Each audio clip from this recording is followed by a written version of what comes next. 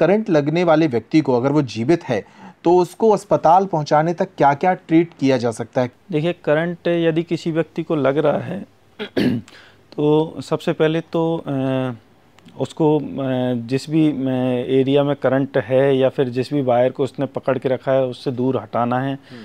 और दूर हटाना भी है तो आपको पूरी प्रिकॉशंस के साथ हटाना है कि कहीं आप उसमें इन्वॉल्व ना हो जाएँ। हम्म। दूसरा ये कि करंट का प्रभाव दो तरीके से हो सकता है।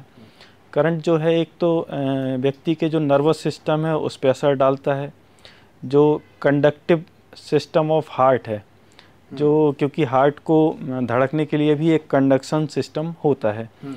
तो उस पर भी बहुत फ़र्क डालता है तीसरा जहाँ भी व्यक्ति ने जिस भी एरिया में करंट का वायर पकड़ रखा है या फिर जिस भी अंग में करंट लगा है उस एरिया में उस व्यक्ति को करंट के कारण बर्न होता है अच्छा हालाँकि करंट का जो बर्न होता है वो काफ़ी डीप बर्न होता है और वो व्यक्ति के लिए काफ़ी घातक होता है हम्म। और उसके घाव भी काफ़ी भरने में दिक्कत आती है हम्म। अब जो सबसे महत्वपूर्ण है करंट लगने में वो है कंडक्शन या नर्वस सिस्टम में जो चेंजेस होते हैं व्यक्ति के हम्म।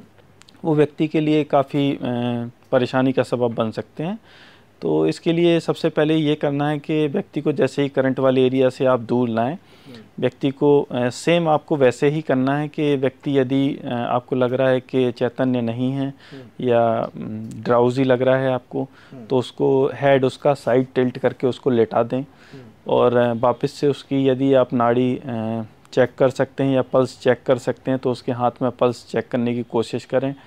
और यदि सांस नहीं चल रही है उसकी और पल्स नहीं चल रही है तो बेसिक सीपीआर जो मैंने बताया है, वैसे सीपीआर देने की कोशिश करें। और यदि सीपीआर भी नहीं दे पा रहे हैं आप तो केवल माउथ टू माउथ ब्रीदिंग भी नहीं दे पा रहे हैं सीपीआर भी नहीं दे पा रहे हैं तो उसको जो, चीज़ जल्दी हो सके, हॉस्पिटल लाने की कोशिश करें। और करंट में जो मेन है कंडक्टम कंडक्टिव सिस्टम डिफेक्ट जो हार्ट में मेन जो जिसके कारण हार्ट धड़कता है या दिल धड़कता है हम्म। तो उसमें दिक्कत आती है। और हार्ट में एक अरिदमिया एक बीमारी होती है हम्म।